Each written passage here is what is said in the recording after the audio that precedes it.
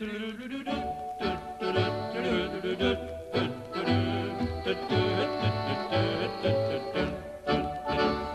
vil gifte meg med Brita i bu, som har bruksrett til Brite på plass.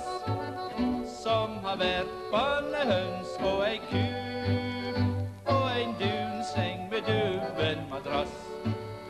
Og forsona med livet og lat,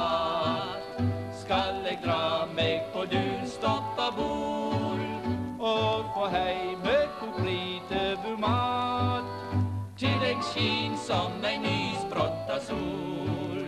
Nei, jeg vil gifte meg med Lisa i liv, som har krambu med snop i hver krå, og har part i et stort bakeri, fullt av kringler med strøsukker på.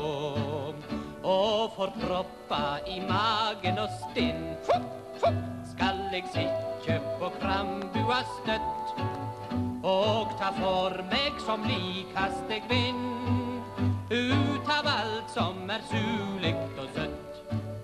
Nei, jeg vil gifte meg med Dorta i Dell, som har strikkemaskin og gitar, som syng songen om Sion hver kveld, og er mor til ei gud utan far. Til toner av åndelig spel skal jeg strekja meg stokkande stiv og klarere mi syndige sjel for det såkalla kommande liv. Nei, jeg vil gifte meg med alle i hop og gå klar både hunger og frost. Leve gratis på kringler og snop heime du kost Få meg sokkar av seigaste sort. Og på kjøpet blir reinspikka far. For til slutt å gå lykkelig bort.